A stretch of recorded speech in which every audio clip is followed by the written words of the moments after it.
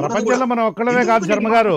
ప్రపంచంలో ఇంకా అనేక దేశాలు ఉన్నాయి అనేక సమాజాలు ఉన్నాయి అనేక మను అనేక మంది మనుషులు ఉన్నారు వాళ్ళకు కూడా వాళ్ళ అక్కడ కూడా నేరాలు జరుగుతుంటాయి వాటి మీద కూడా దర్యాప్తు జరుగుతుంటుంది దర్యాప్తు జరిపేటువంటి సంస్థలు ఉన్నాయి అటువంటి ఇప్పుడు ఎఫ్బిఐ ఉంది అమెరికాలో దానికి అలాంటి ఇండిపెండెన్స్ ఉన్నది. స్కాట్లాండ్ యార్డ్ బ్రిటన్లో ఉంది దానికి అలాంటి ఇండిపెండెన్స్ ఉన్నది. ఇంకా అనేకమైనటువంటి యూరోప్ యూరోపియన్ దేశాలలో ఉన్నది. అలా ఇండిపెండెన్స్ కనుక లేకుండా వాళ్ళ దేశ అధ్యక్షుడినే ఆ అమ్మాయితో లూయిస్కి అనేటువంటి తన సెక్రటరీ తోటి అసభ్యంగా ఉన్నాడు అనేటువంటి దాంతో వాళ్ళ దేశాధ్యక్షుడినే తీసుకొని వచ్చి బోన్లో పెట్టారు. అంటే వాళ్ళ దేశం లోపల మాత్రం బ్రహ్మాండంగా ఉంటారు వాళ్ళు. ఆ తర్వాత బయట మాత్రం కంపు చేస్తారు అది వేరే విషయం కానీ. వాళ్ళ దేశం లోపల మాత్రం వాళ్ళ ఇల్లు చక్కగా పెట్టుకుంటారు. వాళ్ళ ఇల్లు చక్కగా పెట్టుకుంటారు. అంటే ఈ ఇన్వెస్టిగేటివ్ సెంట్రల్ కానీ స్టేట్ కానీ కనుక సరే స్టేట్ తర్వాత మాట్లాడదాం. సెంట్రల్ ఇన్వెస్టిగేటివ్ ఏజెన్సీస్ కనుక అలా లేవనుకోండి ఇండిపెండెంట్గా ఎప్పటికీ ఇటువంటి ఇందాక మిత్రులు శాంతిప్రసాద్ గారు అటు సుబ్బారావు గారు చెప్పినటువంటి విధంగా ఈ నేర చరిత్ర ఉన్నటువంటి వాళ్ళందరూ కూడా వీళ్ళే పాలిటీషియన్స్ అయ్యారు. చంద్రబాబు కావచ్చు జగన్మోహన్ రెడ్డి కావచ్చు మరొకళ్ళు కావచ్చు మరొకళ్ళు కావచ్చు. నేర చరిత్ర ఉన్నటువంటి వాళ్ళే మనల్ని పరిపాలించేటువంటి పరిస్థితి ఉంటుంది. ప్రజా జీవితం అనేటువంటిది అస్తవ్యస్తంగా అల్లకల్లోలంగా ఉంటుంది. అది చాలా ఇంపార్టెంట్ కాబట్టి ఖచ్చితంగా వాటికి ఇండిపెండెన్స్ ఇవ్వాల్సిందే.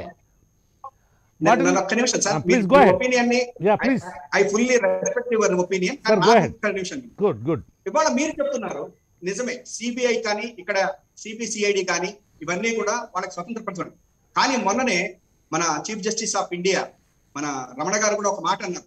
ఈ థర్డ్ డిగ్రీ ఉపయోగించడం పోలీస్ వాళ్ళు అనేటువంటిది మనం ఇట్లా ఉన్నది. చివరికి పెద్దలు అంటే ఆయన కొంచెం ప్రివిలేజ్ అన్నారు అది లేదనుకోండి రాజ్యాంగం మన దీంట్లో. కానీ ఆ మాట ఏమన్నారంటే వాళ్ళకు కూడా తప్పట్లేదు అన్నారు. ఇంకా స్వతంత్ర ప్రతిపత్తిస్తే ఎట్లుంటుందో ఒకసారి మనం ఆలోచించాలి. వాళ్ళ న్యాయస్థానాలు కొంతవరకు మనల్ని కట్టడి చేస్తున్నాయి వాళ్ళని. చేసిన నెక్స్ట్ మీరు ఇంకొక మాట ఏమంటున్నారంటే. వాళ్ళకి స్వతంత్ర ప్రభుత్వం ఇస్తే బ్రహ్మాండంగా ఉంటుంది అంటే. ఇవాళ ఎలక్షన్ కమిషన్ గురించి కూడా మనం మాట్లాడుతా ఉన్నాం. ఎలక్షన్ కమిషనర్ ఎలక్షన్ టైంలో ఒక ఆయనకి ప్రధానమంత్రి గారికి అయితేనేమన్నా చర్యలు తీసుకోదు ఇంకొక ముఖ్యమంత్రుల మీద చర్యలు తీసుకుంటుంది లేకపోతే ఎలక్షన్ డేట్స్ వాళ్ళు ఇష్టం వచ్చినట్టు వాళ్ళు చెప్పినట్టు వింటున్నారు మరి election commission is an independent one. But మళ్ళా మీరు ఈ రకమైనటువంటి అపవాదులో లేకపోతే ఏమో మనం మాట్లాడుతూనే ఉన్నాం. అయితే. పోలీస్ వ్యవస్థకు వచ్చేసరికల్లా. ఇవాళ సిబిఐని డైరెక్టర్ చేయటంలో కూడా. నిన్న మన చీఫ్ జస్టిస్ గారు చెప్పారు. ఆరు నెలలు ఉన్నటువంటిది మీరు ఇంప్లిమెంట్ చేయండి అది. తప్పో రైట్ పేపర్లలో చదివా నేను కూడా అది వద్దు అన్న తర్వాత కొంతమందిని ఎలిమినేట్ చేయటం. ఇది చేసాం అంటే మనం ఒక సిస్టమ్ పెట్టుకున్నాం. ప్రధానమంత్రి గారు ప్రతిపక్ష నాయకులు. చీఫ్ జస్టిస్ ఆఫ్ ఇండియా వీళ్ళందరూ కలిసి డైరెక్టర్ని తీసుకురావడం జరిగింది. అయితే దీంట్లో ఉన్నటువంటి లోపాలు సరిదిద్దుకోవడం మంచిది తప్ప. పోలీసుల వ్యవస్థ అన్ని సిబిఐకి అన్ని కేసులు ఆగండి ఆగండి ఆగండి శర్మ గారు మీ ఆర్గ్యుమెంట్ లైన్ అండ్ లెంగ్త్ బాగానే ఉంది కానీ న్యాయ వ్యవస్థ ఈ రోజున ఇండిపెండెంట్గా లేదా లెజిస్లేచర్ ఇండిపెండెంట్గా లేదా?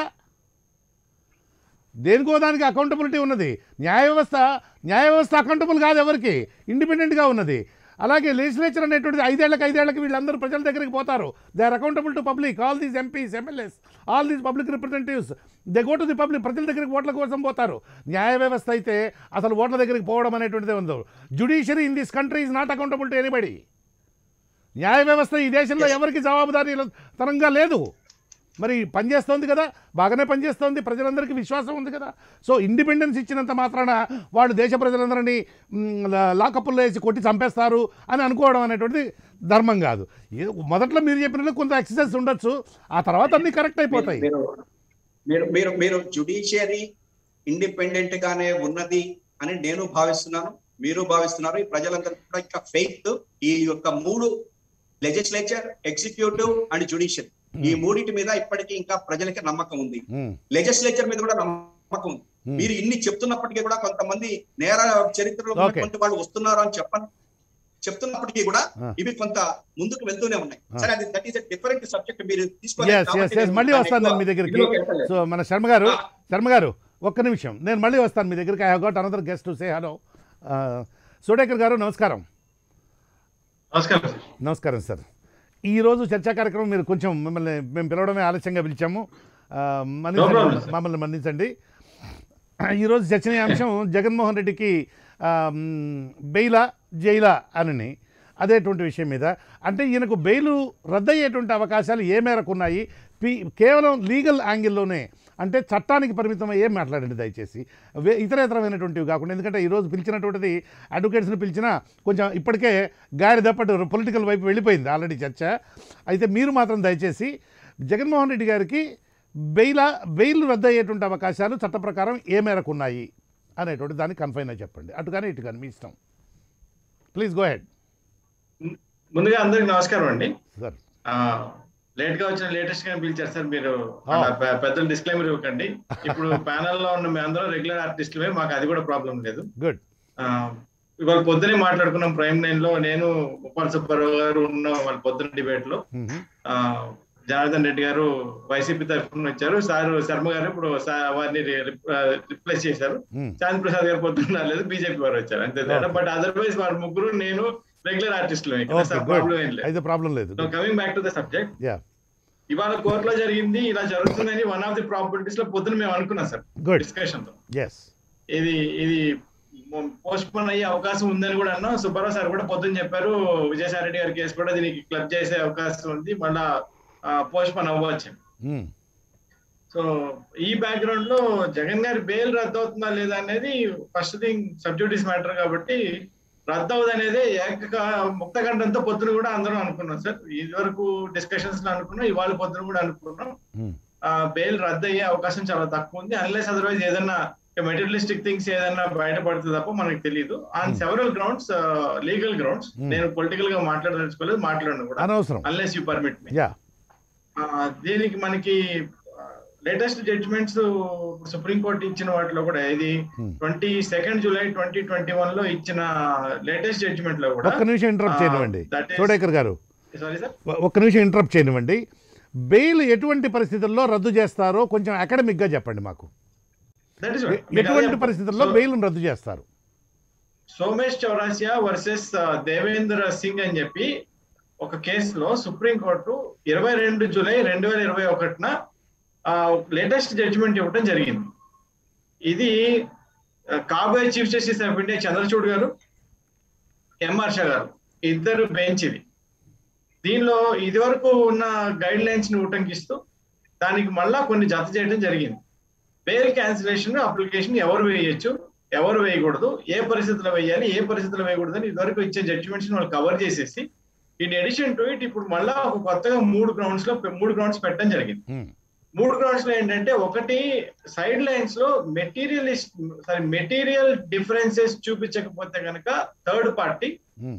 బెయిల్ బెయిల్ రద్దు కుదరదు అనేది వాళ్ళు తేల్చి చెప్పడం జరిగింది Hmm. రెండోది court should not be influenced by political power అని చెప్పారు దీనిలో ఫస్ట్ Hmm. టైం కోర్టు పొలిటికల్గా ఒక యాంగిల్ తీసుకొని దీనిలో ఒక ground. For not cancellation of bail తీసుకుంటూ జరిగింది Hmm. ఎందుకంటే ఈ కేసు పూర్వాపరాలు చూస్తే Hmm. ఈ దేవేందర్ సింగ్ గారు ఎవరైతే ఇందులో అక్యూజ్డ్ ఉన్నారో Hmm. ఈయన ఒక మర్డర్ కేసులో అక్యూజ్డ్. మధ్యప్రదేశ్కి సంబంధించిన కేసు ఇది మధ్యప్రదేశ్లో ఒక కాంగ్రెస్ లీడర్ని ఆయన మర్డర్ చేశారన్న అభియోగం ఆయన మీద ఉంది. ఆయన ఎవరు ఇంతకేనంటే. మధ్యప్రదేశ్కి సంబంధించిన బిఎస్పి పార్టీకి సంబంధించిన ఒక మహిళా ఎమ్మెల్యే గారు సిట్టింగ్ ఎమ్మెల్యే గారి భర్త ఆయన. సో ఆయన కాంగ్రెస్ పార్టీకి సంబంధించిన పేరు సమ్ చౌరాసియా సారీ పూర్తి పేరు పర్వాలేదు. Hmm. ఆయనని మర్డర్ చేశారని చెప్పి అభియోగంతో వాళ్ళ అబ్బాయి కేసు పెడితే ఈ కేసు బెయిల్ గ్రాంట్ చేయడం జరిగింది లోకల్ లోకల్ లోవర్ కోర్టులో Hmm. అది వాళ్ళ అబ్బాయి ఫైట్ చేస్తూ సెకండ్ అప్పీల్ సుప్రీం కోర్టుకు రావడం జరిగింది Hmm. దీని బ్యాక్గ్రౌండ్ ఇది. దీనిలో మన దేవేందర్ సింగ్ గారు ఎమ్మెల్యే గారు భర్త అవటం వల్ల చాలా రకాల ఇన్ఫ్లుయెన్సెస్ వాడి ఆయన ఫస్ట్ అరెస్ట్ చూపించలేదు తర్వాత అరెస్ట్ చూపించారు తర్వాత నానా రకాలుగా జైలు మార్చారు ఆయన్ని ఆయన స్టేట్మెంట్ కానీ ఇలా ఏవో బ్యాక్గ్రౌండ్ అంతా ఉంది Hmm. ఈ కాంటెక్స్ట్లో ఇప్పుడు చౌరాసియా గారు అబ్బాయి ఎవరైతే చంపబడ్డారో వారి అబ్బాయి ఇక్కడ బెయిల్ క్యాన్సిలేషన్ కోసం సుప్రీం కోర్టు రావడం జరిగింది ఇది Hmm. Background Hmm. దీనిలో కోర్టు ముఖ్యమైన మూడు అంశాల్లో ఒకటి ఇందాక మీరు చెప్పినట్టు Hmm. బెయిల్ గ్రాంట్ చేసినప్పుడు ఇచ్చిన గ్రౌండ్కి మెటీరియల్గా మీకు ఏమన్నా కొత్తగా ఒక ఫ్యాక్ట్ వచ్చి ఉంటే అది ఫస్ట్ మీరు చూపించగలిగి ఉండాలి Hmm. తర్వాత థర్డ్ పార్టీ Hmm. ఎవరైతే ఇస్తారో వాటికి ఇదివరకు ఇచ్చిన గ్రౌండ్స్ ఏంటంటే జనరల్గా మీకు బెయిల్ ఇవ్వడానికి బెయిల్ క్యాన్సిలేషన్కి ఎవరు ఉండాలి Hmm. అయితే పబ్లిక్ ప్రాసిక్యూటర్ గారు చెప్పాలి Hmm. అయ్యా వాళ్ళు బయట ఏదో ఇన్ఫ్లుయెన్స్ చేస్తున్నారు Hmm. లేదా కోయక్యూ సహనిందితులు చెప్పాలి మా మీద ఏదో ప్రలాభం పెడుతున్నారో మమ్మల్ని మమ్మల్ని థ్రెటన్ చేస్తున్నారో వాళ్ళని చెప్పాలి Hmm. లేదు ప్రాసిక్యూషన్ సంబంధించిన ఇన్వెస్టిగేషన్ ఏజెన్సీ వాళ్ళకి కొత్త ఏదన్నా కొత్తగా ఫ్యాక్ట్ తెలిసి ఈ ఫ్యాక్ట్ కూడా మేము ఇన్వెస్టిగేట్ చేయాలి కాబట్టి దానికి మా కస్టడీ అవసరం అన్న చెప్పు ఉండాలి Hmm. ఇవేవి కాకుండా మీకు Hmm. మీకు సుమోటాగా కోర్టు దీనిలో బెయిల్ని క్యాన్సిల్ చేసే అధికారం కోర్టుకు ఉంటది ఇది ఫస్ట్ రూల్ Hmm. ఇందాక అనుకున్న గ్రౌండ్స్ కాకుండా కోర్టుకున్న లిమిటేషన్ అది. దీనిలో రెండు రకాల క్యాన్సర్ రెండు రకాల బెయిల్ అంటే క్యాన్సర్ కోర్టుకు సుమోటోగా అధికారం ఉంటుంది అని అంటే ఒక నిమిషం ఈ మూడు రకాలైన కండిషన్ సుప్రీంకోర్టు పెట్టింది బాగుంది అగ్రీడ్ అయితే ఇవేవి కాకుండా కోర్టుకు సుమోటోగా అంటే స్వచ్ఛందంగా తనంతట తానుగా ఆ విధమైనటువంటి నిర్ణయం తీసుకునేటువంటి అధికారం ఉందని అంటున్నారు దాన్ని కొంచెం ఎక్స్ప్లెయిన్ చేయండి. లేదు లేదు. లేదు ఇప్పటిదాకా మీకు ఎక్స్ప్లెయిన్ చేసిన గ్రౌండ్స్ రెగ్యులర్గా ఇది వరకు చాలా జడ్జిమెంట్స్ ఇచ్చిన గ్రౌండ్స్ అవి. ఉన్నవే అవి. అవును. ఉన్నవి సో దీనిలో మీకు రెండు రకాల కేసులు వాళ్ళు తీసుకున్నారు. ఒకటి మీకు ఫోర్ థర్టీ నైన్ ఫైవ్లో ఒకటి ఫోర్ థర్టీ సెవెన్ టూ లో రెండు రకాల బెయిల్స్ మనకి. ఉమ్, ఒకటి మ్యాజిస్ట్రేట్ గారి court four thirty nine two లో సెషన్స్ కోర్టు కానీ హైకోర్టు కానీ అయితే ఎక్స్క్లూజివ్ జ్యూరిస్డిక్షన్లో ఫోర్ థర్టీ నైన్ టూ లో బెయిల్ క్యాన్సిలేషన్కి ఇచ్చిన గ్రౌండ్స్ జనరల్గా థర్డ్ పార్టీ అప్లికేషన్ వేస్తే ఎప్పుడు చేయాలనేది ఇది మనకి. ఓకే. ఉన్న గ్రౌండ్. దానికి అడిషనల్గా ఇప్పుడు ఏం చెప్పిందంటే పొలిటికల్ పవర్ పొలిటికల్ ప్రెషర్స్కి కోర్టు లొంగకూడదని ఫస్ట్ చెప్పింది. పొలిటికల్ ప్రెషర్ వల్ల అప్లికేషన్ వస్తే యాక్సెప్ట్ చేయొద్దని చెప్పింది. రెండోది అతి ముఖ్యంగా ఏం చెప్పింది అని అంటే lower courts or district courts are the key points for any any education of the matter అని ఒక మాట మాట్లాడింది సార్ ఇందులో. ఉమ్, వాళ్ళు అంటే కార్డినల్ అన్న మాట పట్టారు. ఎగ్జాక్ట్ టెర్మినాలజీ మాట్లాడింది ఏంటంటే supreme court. District courts are cardinal for the judicial administration అని మాట్లాడారు వాళ్ళు. అంటే వాళ్ళదే. ఇది fact finding courts lower courts original courts first court అంటాం మనం ఇన్ని మాటలు మాట్లాడతాం వీటిలో. ఉమ్, ఏంటంటే ఈ కోర్ట్స్ ఫ్యాక్ట్ ఫైండింగ్ ఈ Hmm. కోర్టుకి మీకు cross cross examination examination oral examination చేసే రైట్ పవర్ ఉంటుంది. Hmm. హైకోర్ట్స్ కూడా ఉంటుంది కానీ వాళ్ళు జనరల్గా చేయరు. వాళ్ళు క్వశ్చన్ ఆఫ్ లా మీద వెళ్తారు ఫ్యాక్ట్ మీద వెళ్ళరు. అపీల్లో. ఒరిజినల్ కోర్ట్స్ ఉన్న ఒరిజినల్ జ్యూరిస్డిక్షన్ ఉన్న హైకోర్ట్స్ విషయం వేరు. వాళ్ళు ఫ్యాక్ట్ ఫైండింగ్ కూడా వెళ్తారు. లక్కీగా ఆంధ్రాలో అలాంటి కోర్టులు హైకోర్టుకి లేదు కాబట్టి అలాంటి పవర్ మనం దాని గురించి చర్చించుకోవాలి సో డిస్ట్రిక్ట్ కోర్ట్స్ కార్డినల్ అన్నప్పుడు ఎక్స్ప్లెనేషన్ ఏమి ఇచ్చారని అంటే వాళ్ళు ఈ ఎవిడెన్స్ ఎప్పుడైతే ఎడ్యూస్ చేస్తారో ఆ ఎవిడెన్స్ క్రిటికల్ కాబట్టి. డిస్ట్రిక్ట్ కోర్ట్స్ వీటి మీద పక్కకి జరగద్దు ఎంత క్రిటికల్ మరి లీగల్గా మరి లీగల్గా వెళ్తే మరి ఇదిగా అవుతుంది కానీ దాని సారాంశం చెప్పి ఆ సారాంశాన్ని జగన్ కేసుకి అప్లై చేసి చెప్పండి. అట్లయినా ఇట్లయినా. రద్దు బెయిల్ రద్దయి రద్దయ్యే అవకాశం ఉంది. లేదు రద్దుగా ఇందుకు రద్దు అవుతుంది ఇందుకు రద్దు కాదు అని చెప్పండి. ప్లీజ్ అతి ముఖ్యమైన పాయింట్ రెండు సార్ ఈ సుప్రీంకోర్టు జడ్జిమెంట్లో.